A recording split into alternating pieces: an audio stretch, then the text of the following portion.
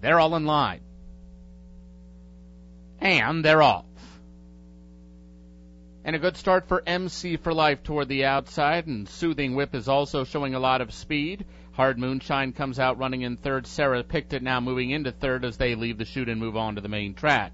Storm Tempo is fifth right now and on the outside about five lengths off the pace. Old Rules moves from between runners. Whip the Groom is down along the rail and Wise Warrior will have to pass them all less than five furlongs out.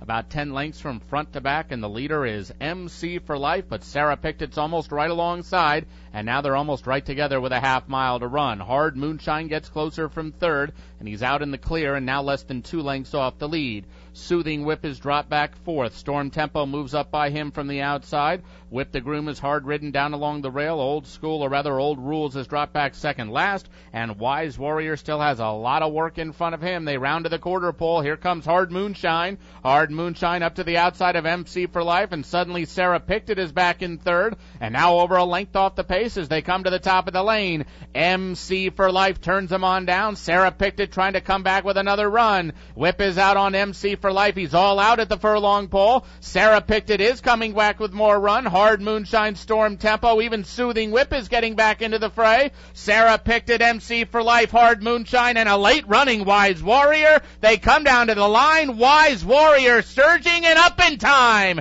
Wise warrior was Sarah Picked It MC for life down on the rail.